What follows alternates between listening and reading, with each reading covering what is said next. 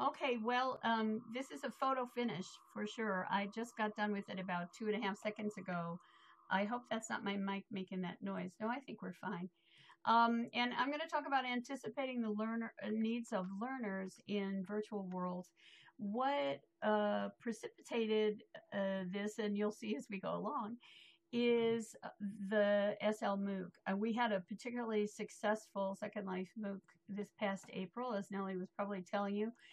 But there are also things that we started to think about that we could do better. And many of the speakers that we had talked a lot about how they were bringing learners into virtual worlds and what were some of the problems and some of the possible possibilities. So the the the pros and the cons of doing that.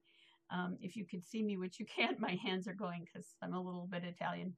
So we're gonna see if we can move this forward. There we are.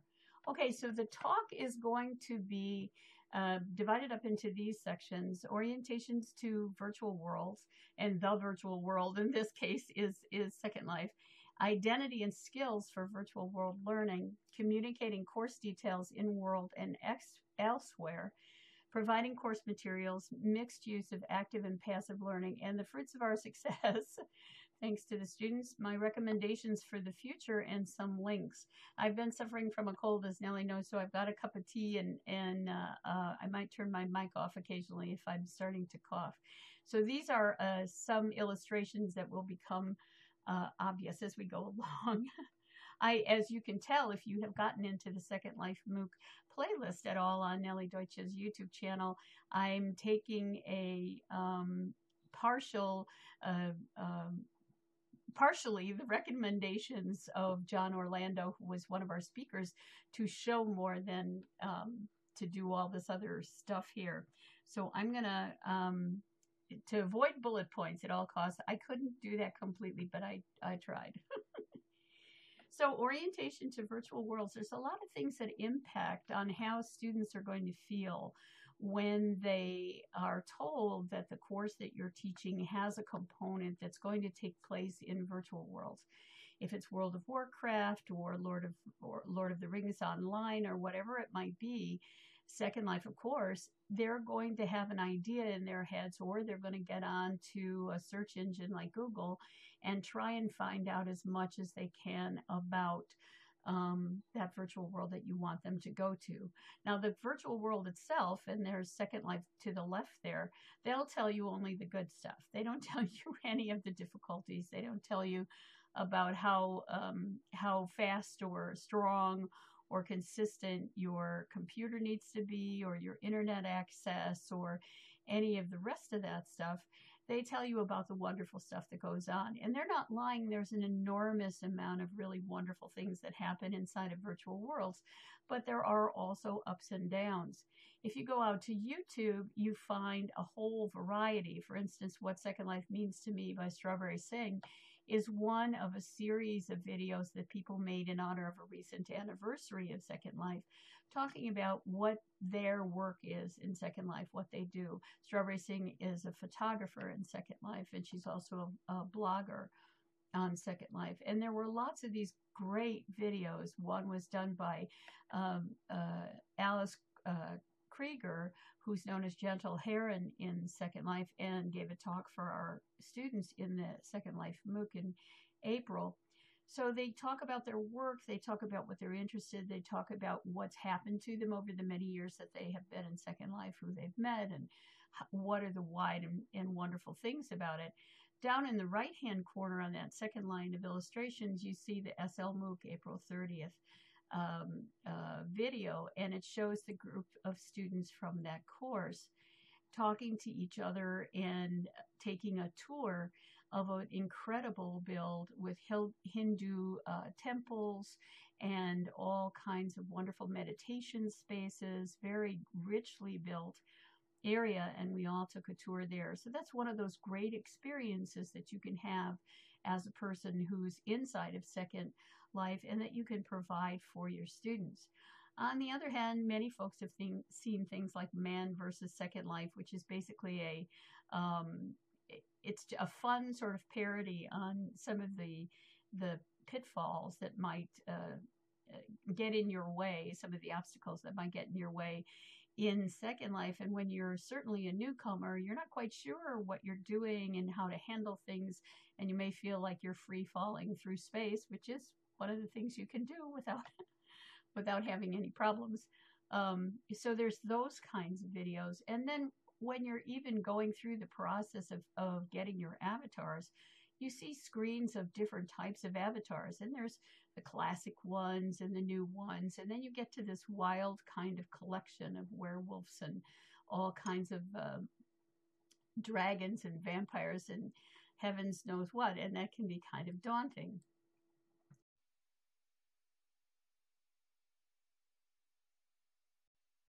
Is kind of orient them to what you want them to know about it. You want to assuage their fears. You want to tell them, you know, they're going to be with you. They're going to be in the classroom. Um, they're going to be getting tips from people who know how to stay safe in Second Life. They're going to find out how to have a good, positive experience.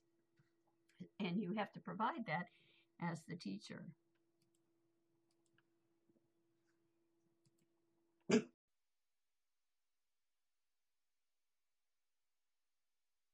Chapter in a book that was published by the American Library Association in 2009, which was sort of at the beginning of the hype for Second Life, um, and actually is the year that I got into Second Life.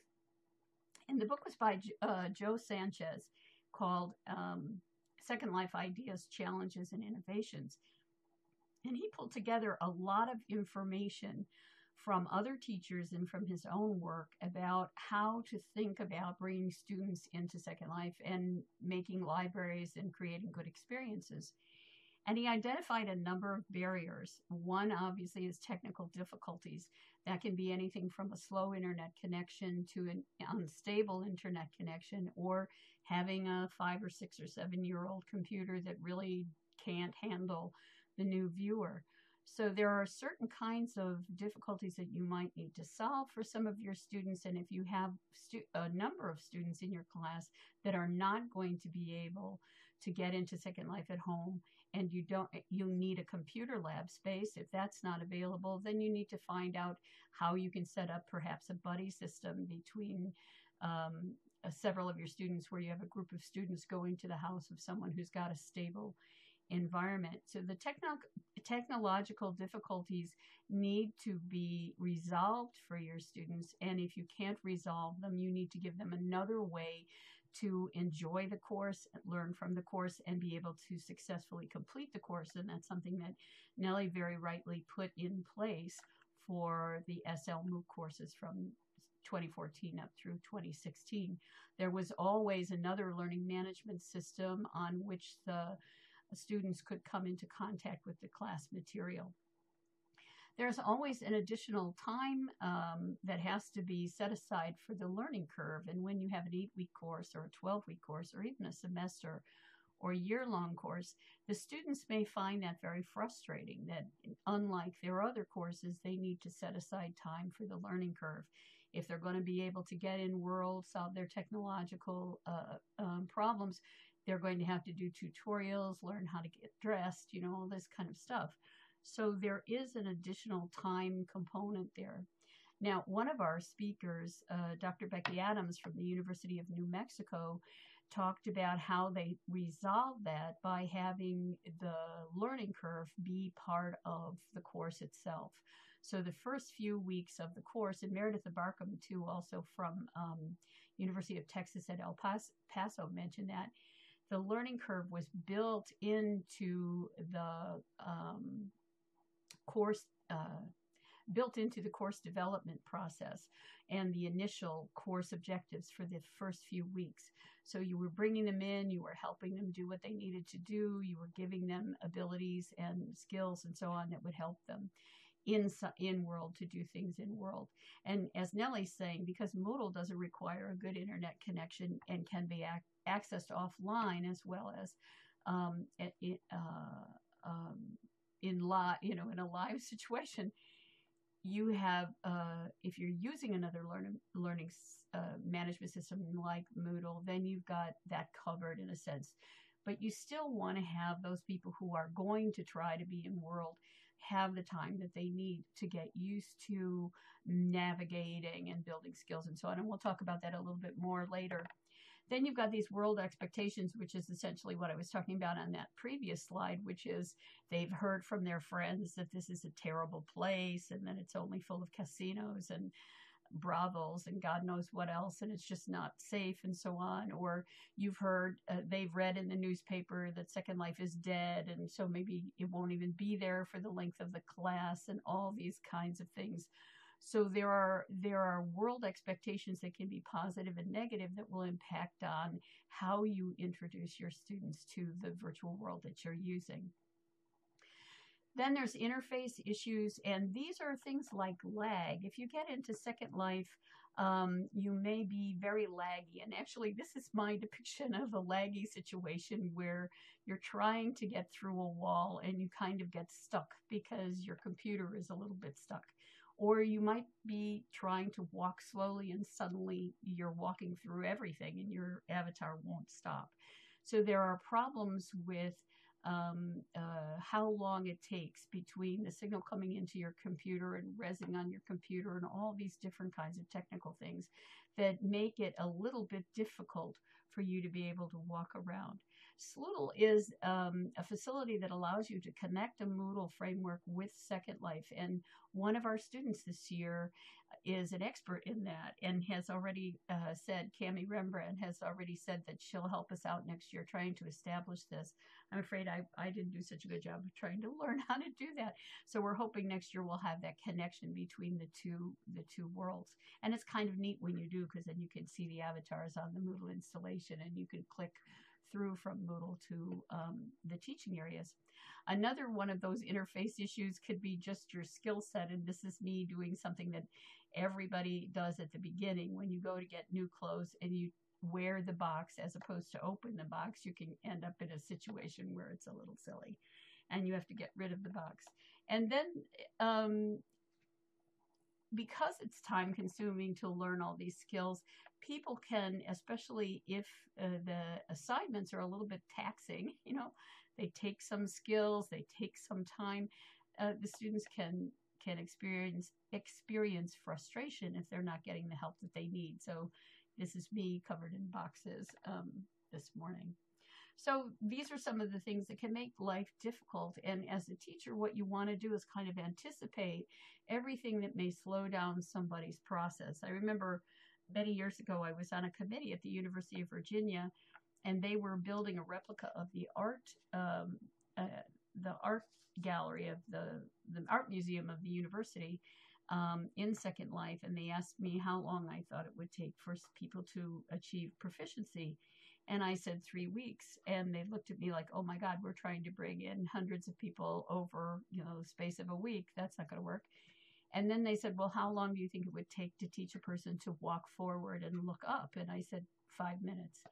So um, it depends on what you're going to have your students do in that virtual world framework and what you need at what step. So you can also ladder out um, uh, or ladder up the skills that you teach them according to what you need them to do, and then have to build in some fun for sure. That's what everybody always says.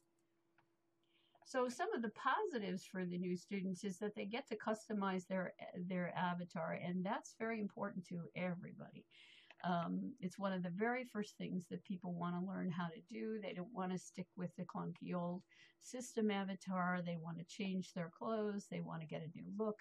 Sometimes they want to make the um, avatar look like themselves. Sometimes they want to experience being a paper bag or a dragon or a walking house or a Minecraft character or a pile of blocks or whatever it is, a, a, a furry or a small, a little small uh, um, creature, whatever, they might want to really go through um, a period of kind of playing around with their look because they can do that.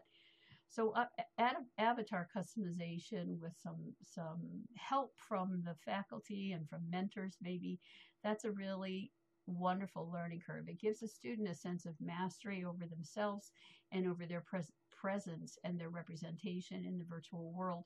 And that instills a little bit more confidence, I would think. students love creativity. They love being able to see what other people have done that's creative. They love to be able to try and create things themselves.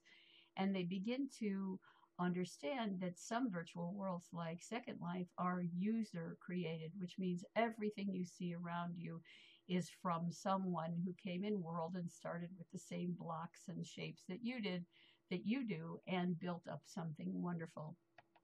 So that's important and both customization and creativity lead to these feelings of accomplishment and that gives you more confidence in how you're handling the course as well and more motivation to keep on going. So um, these are some of the positives. Now, these were from a study that had been done in 2008, 2009. So Second Life was in its relatively early days at that point. But I think these hold true. And you'll see that in the next presentation I'm going to um, talk to you about. The final presentation of the SL MOOC 2016 this year was delivered by Scott Onstad, who's a retired professor from Florida Gulf Coast University. In fact, he retired on the day that he gave the talk to us. Um, and it was called Using Virtual World Simulators, meaning Second Life, in Social Work Course Assignments. So it was a two year project that they did. And they wanted to um, uh, give students a because these were people who were going to grow up to be social workers or you know graduate to become social social workers they wanted to give people a wider cultural reach whether it was religion or ethnicities or languages or whatever it might be so that they could have experiences in the virtual world that would inform their ability to do social work experiences that would be difficult to get in real life without traveling huge distances or finding your local um, Hindu association or meeting someone that could take you to visit a mosque and so on. So that's kind of what was going on. And this is Scott's um, Scott's avatar, Ewan Bonham, and the lecture started out in the Cultural Community Hub on Whole Brain Island, which is um, part of uh, the Inspiration Island Sims. And I've got a couple of slides so you can see his presentation here. This is a great place to go because it gives you a lot of introductions to other uh, destinations inside of Second Life. And instead of just having a wall board that you click and you go through to the new place, it has lots of information about the communities that are there and what is the purpose of the place, how it was built, and so on. Anyhow, so in this study that he and his colleagues did, they wanted to demonstrate the use of Second Life in a structured and self-directed platform for enhancing cultural comp competency. You can see that on the slide. And it was a mixed design two-year study. So it was both qualitative in terms of getting interviews and asking open-ended questions and quantitative in terms of seeing the assessment and retention and so on. And what they were really looking at was comparing a traditional versus a Second Life specific course design for this cultural um, competency kind of objective. They wanted to look at engagement and desire to learn in the two various areas. And their student surveys showed significant improvement in student in, involvement and appreciation of Second Life as an arena to discover cultural resources. But what you're going to see is something that's important to the point that I'm making now, which is the difference between how you introduce your students and how they feel about the, the, the experience itself. So it happened over two years. The micro, uh, the learning objective was this expansion of cultural competency. The micro uh, course design consideration was uh, Second Life navigation and avatar identification identity. And the macro was the recognition and exploration of a range of cultural community resources in Second Life. And there's this subtext there, which is now we're enriching these students who will go out to be social workers to be more mindful of other ethnicities and cultures and so on in their work. Now, this is very interesting. In year one, they we're just going to focus on the second life parts of this that are relevant to, to um, teaching in, in a virtual world. They gave them a video by Linden Labs about how to walk around, how to fly, and so on. And if the student asked, then they would provide one-to-one mentoring. They used some search engines and a list of landmarks to help them find and explore communities on their own. And then they had a community uh, profile listed owner or word of mouth kind of thing. So they would go and have to find somebody who could tell them about the place they were exploring and get to talk to that person and figure out what it was about that area. And it wasn't didn't have to happen in Second Life. And then they had a focus group at the end, which was their open-ended conversation about how did this work out? How how good did it work for you? In year two, they switched the way that they were orienting their students to Second Life. They had the videos made by the professor, so all the tutorials were being done by people that they were going to see over the over the duration of the course. They did three self-guided tours pre, um, were presented, and you give them a note card, and it has landmarks on it, and it tells them where to go. And you could give them um, one-to-one teaching if they needed it, and they recruited a number of mentors to be available to the students. I actually went through the mentor training, but then didn't have the time to join the group. They did a video again by the one of the professors on avatar identity, how to change clothes, where to find new clothes, and all this kind of stuff. And simple art creation workshops and tours where the class was together and they were learning how to make a, a box uh, glow and spin and um, change shapes and that kind of thing. It was really a fun activity. And then they took them on guided tours. Then they sent them out to explore communities using Cultural Hub as their whole home base. And they asked each of these folks to go and see key informants. Now, these were people that they went out ahead of time and built a working relationship with. So, in this case, instead of just sending the student out to find their informant, they set up a relationship with the formant, informant to begin with. And then people would come back to the community's cultural hub and give a presentation about their experience to the other students. So there were two aspects there.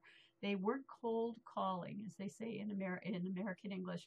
They weren't just walking in on somebody they've met before and saying, gee, I want to talk to you about what you're doing on this sim. They had a, someone who was prepared for them, that was waiting for them, that knew why they were there, and would have a would have a good conversation. So the instructors prepared the ground for those conversations. And then there was that extra piece of being able to come back and say, look, guys, look what I found, which is a wonderful academic, uh, active learning kind of thing to do. And then at the end, again, they had the open ended conversation. Now, look at the difference here. I'm only showing you the qualitative results, and these are responses to the survey questions. So, you, awful a lot of negative stuff is happening here. The initial impressions of interest from exposure to some spiritual practice. So they, no, it's okay. It was kind of nice, and we like that. But things were difficult and awkward to access. They didn't talk about their avatars. They never mentioned anything about diversity or what they found. And they really didn't want to do this again. They really did not want to have anything to do with an online virtual course after this experience. So that was not everybody, but it was some folks in the class. They did notice that many of these places they explored had beautiful art and backgrounds. They didn't talk a lot about the key informant. They didn't talk about the usefulness of the information they gathered for being assessed in the course. They were interested in community ambience and architecture, but that was about it. They didn't comment on how they integrated many sources of knowledge, and they they did positively say, "Well, we did see some new practices in other people's spiritual traditions." In 2014, where they had this much more pre-thought out, pre-planned, and um, interactive and more personal kind of inter- um, environment for the students to engage in the Second Life activities, there's a very different set of tone here. As certainly, there was interest and desire to attend more services and to learn about other spiritual practices as well. They found Second Life to be easy to access. Help and assistance was always available to them. They figured out how to make simple clothes changes and they figured out what their prefer- preferences were, how they could set up their identity. And as you go down here, there's lots of more positive comments, openness to including Second Life and traditional traditional courses, beautiful art, and uh, inf- interest in the sources of values, heightened sensitivity, awareness of range of family values and how members relate to each other. They understand they understood the purpose of the cultural assessment in their own class. So they were a little bit more connected to how the class was put together and what it was that they could get out of it. And then they were also noticing personal biases and acceptance of other persons who may become clients at some point. And that helped them bring this knowledge into their internships and their practicums and so on for being social workers. So there was a big difference from plunking them down in the world with Linden Laboratory or the group that owns Second Life with Linden Laboratory tutorials. And well, if you asked, you could get a little bit of help, but don't, you know, otherwise we're not going to set up the structure to setting up a structure for people to be successful in the course. A very big difference. And he's got quantitative data that, that uh, double checks that, hits that quite well. So what we tried to do in the Second Life MOOC, and this is the third one that we've done, so it's evolved on on all parts. Uh, is manages the Moodle and is in World, and I manage the Second Life stuff and mess around in the Moodle. And Doris uh, does both and makes sure the social presence is going on the Facebook page and so on. So we all have kind of divided up what we're doing, and we've had different. Nellie and I have had different collaborators over the years. We started out with Doris Molero in um, uh, 2014, and then it was Kip Bone in 2015, and now it's the three of us again. And we've had some interest from one of the students and uh, from uh, another individual about maybe joining the organization team. So as we go along, we have kind of morphed it, uh, changed the course according to what we're learning and what we're hearing from the students, and finding ways to to get over those barriers. So this year, one of the things we did was we added more uh, tutorials about um, uh, how to get into Second Life. This is actually the one that we made for 2014, and I didn't see a reason to change it because I went and I went and through that again with another alter avatar, and it basically worked the same way. But I did go ahead and make a new video for getting free clothes and making outfits, not because I knew Scott's results, but because I had read in other places that it's important for the actual one of the actual teachers that they're going to be in contact with to be doing the these tutorials. So you're recognizing a person that you're going to be working with, um, and that helps. And then I made a second one called Change Me, Changing Your Look, because students were asking about it. You know, how do I make my avatar taller? How do I make her shorter? How do I make him more muscular? How do I make him, you know, where am I going to get a tattoo or a little bit of facial hair if I'm a nice meaty guy kind of thing.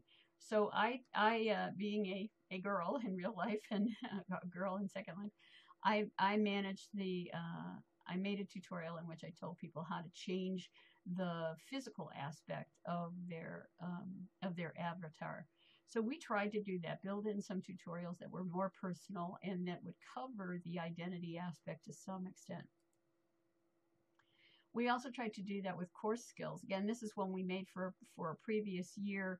This was the joining the group um, uh, um, tutorial, joining the group tutorial. That's our little group joiner that's always in the building um, doesn't work any differently than it did in 2015. So we just put this up in the ESL playlist. And this is a very important thing. And I give you the link for this at the end of the, the conversation. And Nellie, if you could let me know where I am in time because my screen is completely wide here and I can't see my timer. Um, and then uh, I made a new tutorial that would tell people how to get information out of all of these wall boards. We're going to talk about the wall boards later. And I didn't do that in 2015, and I certainly didn't do it in 2014. Oh, thanks, Nellie. Um, uh, because uh, partly in 2014 I wasn't involved in that part of the class. I was sort of a um, handling some of the lectures and being a mentor and so on, but I didn't do the organizational work of the setting up the MOOC. Doris did that that year, and she did a wonderful job. She's the one who thought up the wallboard idea. Um, but I noticed that in some cases, the names of the the you know we all got so busy that in some cases in 2015 the names of the um, uh, folders that you would get in your Second Life inventory didn't match the wallboard and all this kind of thing. And then there were other ways I thought maybe we could get give more information. And since we already had things from 2015, it was just a question of adding on in 2016. Like all this wonderful um, furniture came from Doris. So that was it, click everything. And then after a comment from one of the students, I did one on organizing your inventory because every time you clicked one of these cute little guys, they gave you a subdirectory in your inventory and it could get a little bit daunting. So again, I did um, some course tutorials for the course because of that idea of I'm somebody you're going to see. And also modeling uh, different looks too, because that's a lot of fun for guys and girls in Second Life is to play with how you look. I mean, why not? And then we uh, worked on building skills, and we did this in two ways. We had a, um, uh, I did two lectures, one on building skills and one on finding resources for teachers. And then there was an active in world component, which was attended by a small number of people. The first time I did it, it was very, very informal. And the second time I did it, I built these in 2015. I built these display boards, put them in our play, playground, and then the students could go through and um, work through all of the information and do all the little activities. And I would be right there to help out. So that's what I did. When we did the resourcing one, I did again a lecture and um, followed up by a tour of various places in Second Life where you're where you could get um, more information about building skills and teaching skills and so on. So we I took a tour. So there was this active part. Hey Doris. Um, and I was a little worried about this. I was worried about doing a lecture and then an activity. More people came to the lecture than the activity, obviously, because there were many people in the Moodle part of it that couldn't come in world, and there were many people who were on a different time zone and were not going to be able to come in world when we were gathered and would have to deal with watching this and getting to this point. One thing that made me feel better about that is that several people, at least two people anyway, mentioned this uh, basic skills lecture and the resource uh, um, lecture as being useful because it had lots and lots and lots of um, uh, links and it gave them some ideas about what things were going to be like when they got in world and they could use it as a reference. And so I felt better about that. But as you'll see when we get down to the end, I have some recommendations about how to do this part of it differently. I think the tour was really useful. I'm not sure that the workshop was as useful as it should have been, or that we had enough workshops on those types of skills. So then another thing you have to think about before you even get started is how to communicate the course details. Now, we've had for a while the Second Life MOOC, and our big maven for Second Life was Doris, who made sure that everything was an event, that everybody was invited, that there were pictures from every activity, that when the videos went up, people knew where they were and could get them. Um, she really made the Second Life MOOC a Facebook page a very vibrant and important part of the course. And, um, you know, Nellie and I would contribute occasionally, but we knew that Doris was building that and was keeping that going and keeping that sense of community going. And that was very important. Nellie was the one who started up the Google Docs. We had the presenters' bios on the Google Docs. Yeah, exactly. Exactly, Cheryl. And um, also the live sessions when they were going to take place, where they were supposed to be, and so on also on Google, and this was something that Nellie set up. She also set up informational and sign up sheets prior to the class starting for all of us who were presenters. And in her, um, this is a this is one of the slides from the bios, and this is genius, I think. And I've mentioned this more than once, but I wanted to mention it again on every bio, bio slide uh, that anybody would see. And at the top of the Google Doc presentation list, there was always this wonderful list of links that would take you everywhere you needed to go in the Second Life MOOC course. And that was fantastic. And again, I dipped in and did my bio, and I dipped in and signed up to do some lectures and pulled links out for the wallboards. But if Nellie hadn't put this up and put this together, the course would have been infinitely poorer in comment uh, content. This was just as important as the Facebook page that Doris did. And then this is the Moodle uh, for Teachers site where the Moodle Learning Management System took place, and there were many, many, many, many more students there than actually were able to come into um, uh, come into Second Life. So these three things were very important, and then there were other things. Um, Doris did a wonderful uh, uh, uh presentation and went out onto another social media site. The three of us were uh, involved with the SL MOOC Twitter page. there was a lot of marketing going on. There were the YouTube channels and all marketing for that kind of stuff. So you there's lots of ways that you're going to be communicating your course details, and you have to think carefully about what's going to work for you best. And I think definitely the learning management system was extremely important for those who could not come in world with us or could not be there because of time uh, constraints um, even if they had the technology, and the Facebook page for building and retaining and promoting community, not only while the course is going on, but as the year rolls out in between. That was so important. And Nellie's so right. It's going to be better every year, year by year.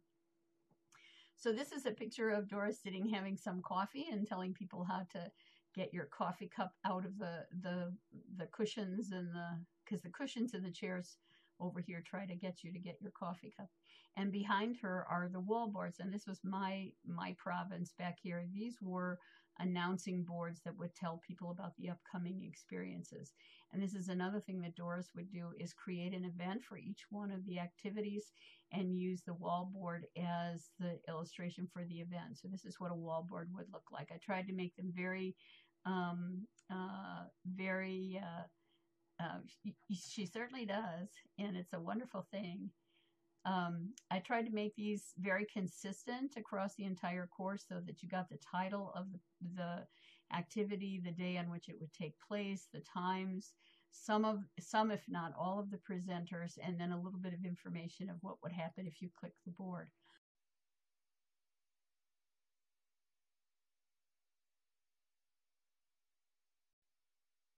Let me get my little thingy again. Now I'm going to show you what was in the wall boards. you have to hold on two seconds. I need another drink of tea.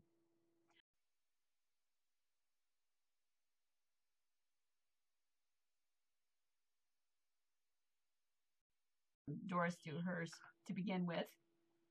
And I also learned some things from some of the neighbors because one day something happened in the neighborhood and I came into Second Life and all these wall boards were in the air, um, hundreds of meters away from the building, and I had to put them back. So I learned how to make them locked in the building, which was something one of the neighbors told me. But basically, you're using the wall boards in Second Life to give information.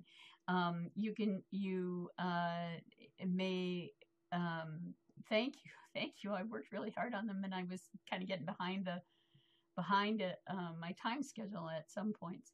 Um, this the wall, wall board is something fairly common. If you go into a library or a learning center or even a store, you're going to be clicking on a wall board, and it will give you information about what you want to buy or what you're trying to learn or whatever. So one of the first things I learned is every every wallboard has to be named for the presentation that it's telling you about because otherwise you get a folder in your inventory that doesn't have the correct name. So that was really important. I put the date in the descriptions. I'm not really sure where the description goes. Um, in general, I would click on show in search, and I'm not sure why I didn't on this one, but I would click on show in search. So if somebody searched um, uh, Second Life, they would find the this wall board and that would give them information on how to get to it and and how to come to the class. In the content area i would put in the biography of the individual. I just copied and pasted the biographies from nellie's um, presentation. I would put in any of the important uh, slurls that were needed you know landmarks to the headquarters and landmarks to where the event was going to take place. Towards the end of the course i didn't put in the landmark to the um, uh, headquarters if we weren't going to be in the headquarters because it was confusing some people. Um, so I learned not to do that next year. And then I would put in the SLMOOC, you know, the SLMOOC description of the presentation. And the presentation would also have those those landmarks written out as in terms of a slurl. So an address, an online address would be in there as well but I could also add in um, YouTube videos by uh, the person, like Linda Rogers, who's known as Kate Miranda in Second Life, had done a "What Second Life Means to Me" YouTube video, so the link was in the the the uh, note card. So you could give a lot of information out, and if you wanted to give them a tool set or a bunch of materials for a project or whatever, you could do that too. You could just fill up this whole content area. So that was one thing I wanted to do.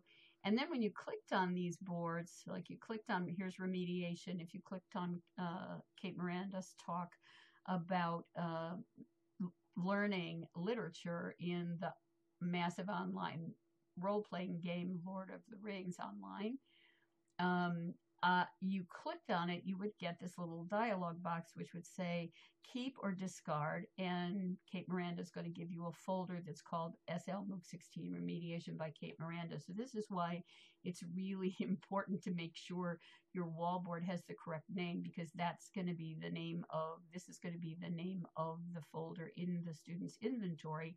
And you want them to be able to find what they need to use. And then you would keep on click on keep and it would go into your uh, inventory in Second Life. So all of these wall boards were all set up in this way with their own bios, their own uh, extra information, their own landmarks, and their own um, note card about the event.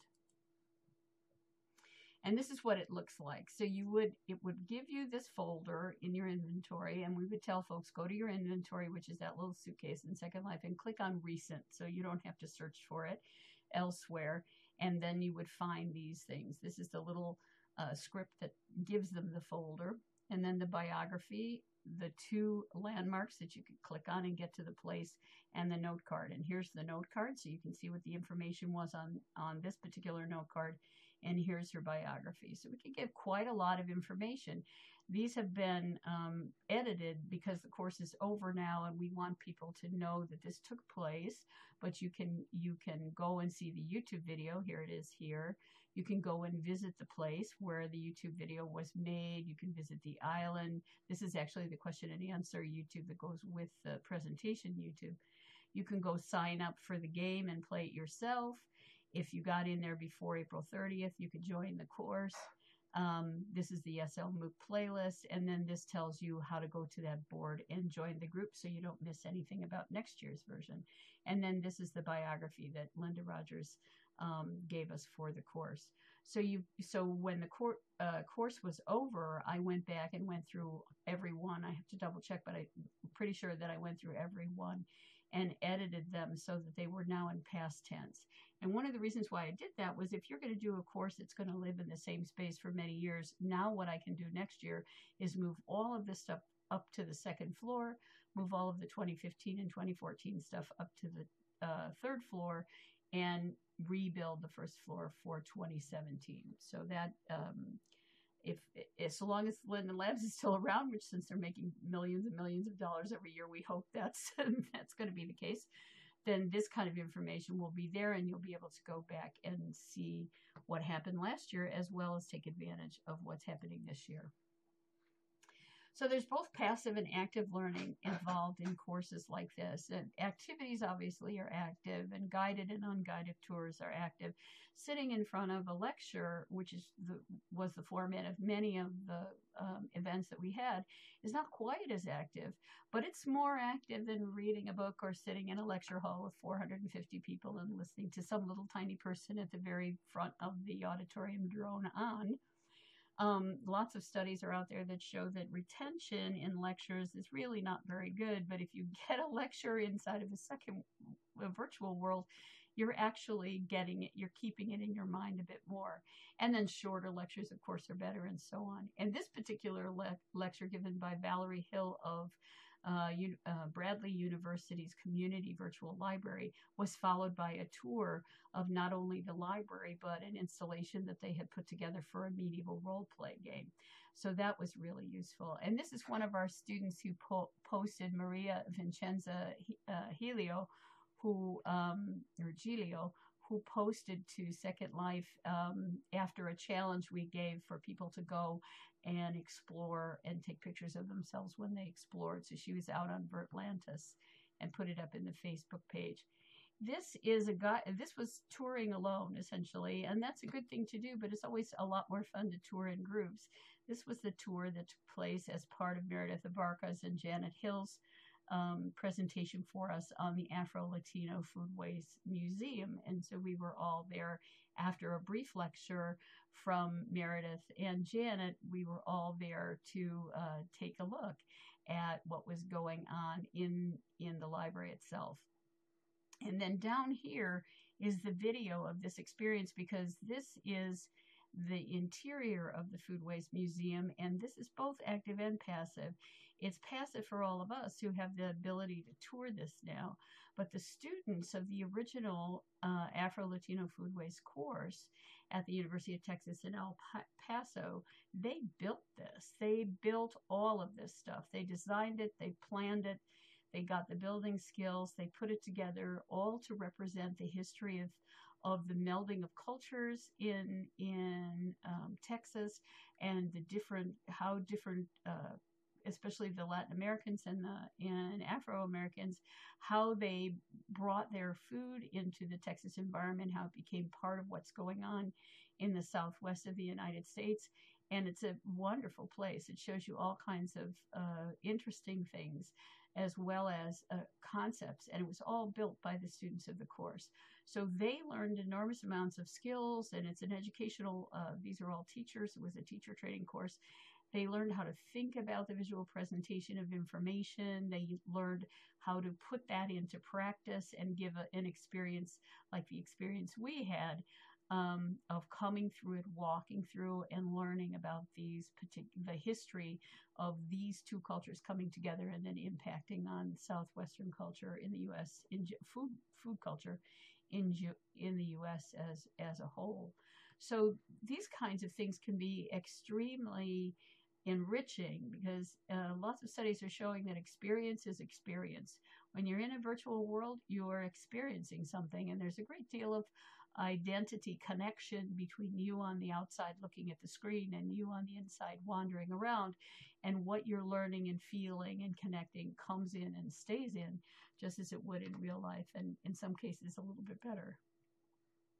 So the fruits of the success for all of us, obviously, was getting a certain num- number, first giving a good experience to everybody that was in the course insofar as that was possible, to encourage and be hope, helpful and um, hopeful and give people like Alex great memories um, of areas in the in the course. Um, so we were trying to create an environment that would make them as excited about online learning as we are, and I hope as excited about Second Life as a learning environment as we are.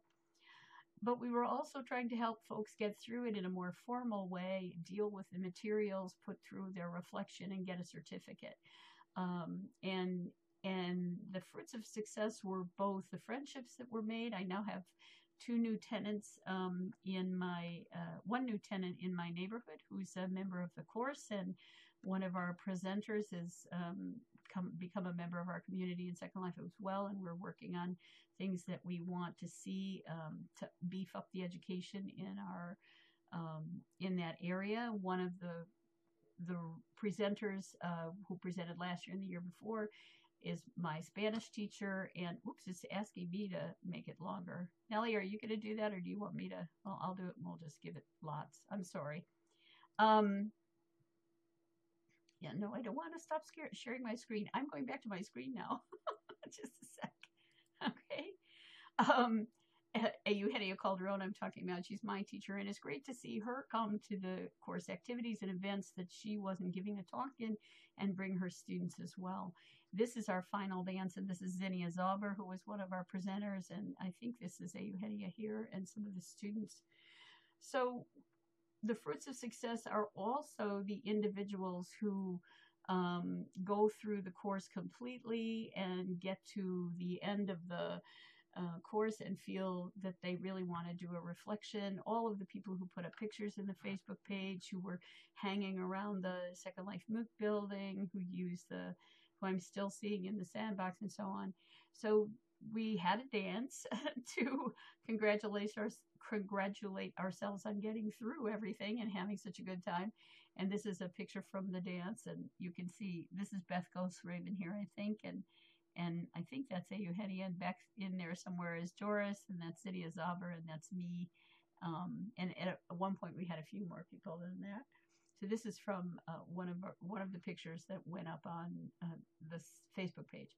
And then this is a certificate from Monica uh, and there were a number of people who um, uh, managed to get certificates. And this is the translation of what she said. Quite a challenge, but I did it.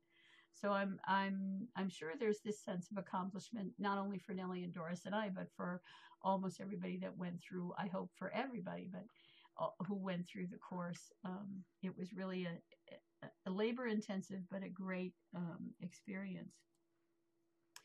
So, having done that, as usual, the three of us have been talking about what we want to do next year.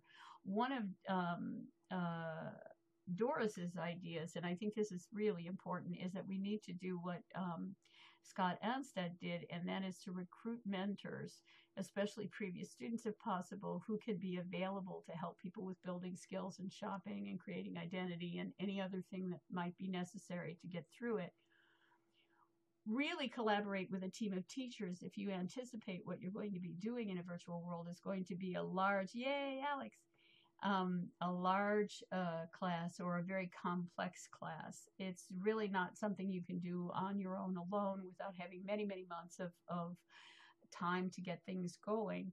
And it was very important that. Um, that's all right, Alex. Nellie has volunteered me lots of times too, and it's enriched my life, I have to say. Um, so it's really important to get a, a, a, group of people that you can divide the work up with. You just find your theme for the year, you have your objective in your head, you talk that over, and then you divide up the work in such a way that a lot of attention can be paid to the class while it's going on without without breaking the, the you know, sending us all to the hospital from exhaustion.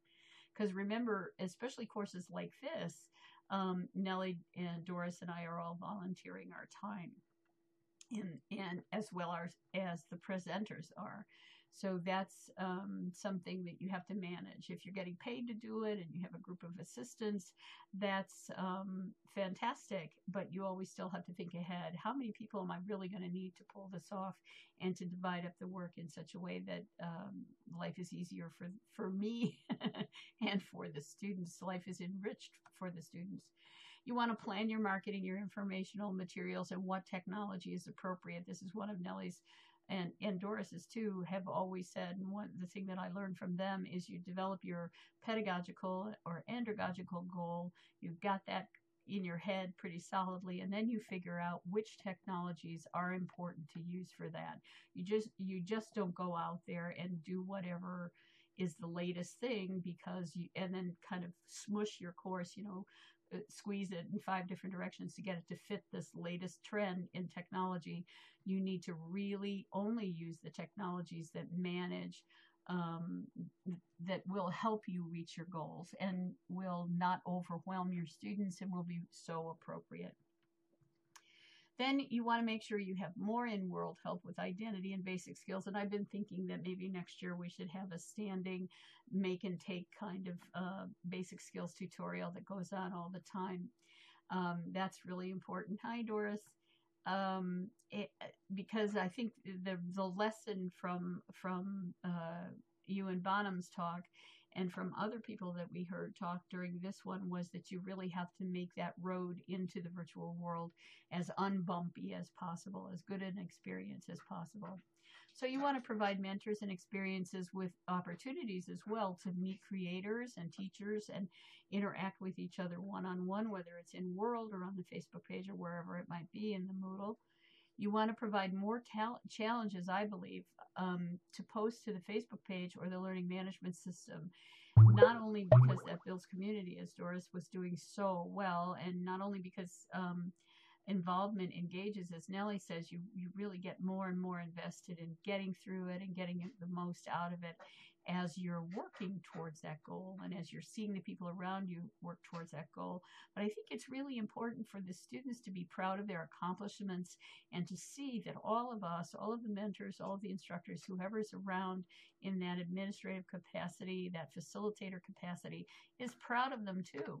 Um, that we see progress and we really are appreciative of what they're doing. Yeah, the reflections have been terrific. And then you want to listen to the students' feedback. What was tough for them? When did they feel lonely? And I think maybe next year we'll we'll do a, um, some kind of an exit um, course survey or something to get a little bit more information that way. But we were certainly getting talked to, and people were talking about their experiences, and you could tell from their questions what was bothering them, what they needed to learn. You could tell from um, their reactions to things when you got it right and they were really feeling comfortable and so on. So those are my recommendations for next year. And this gives you, I hope, is giving you a kind of an idea of what's involved in anticipating what the learners need. And the badges are very important. Yeah, we all need badges. I don't care if we get to be 110, we need badges.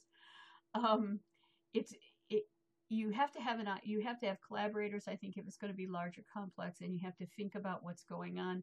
And it, it's easy as somebody who's been in um, Second Life for I've been in Second Life for seven years, and Nellie, I think a year longer than me. And Doris, I've forgotten when you first came in. But um, it's easy to forget what it was like to be a newcomer, and newcomers need um, support and they need friendliness, and they need sometimes to be left alone just to figure out how things work for themselves.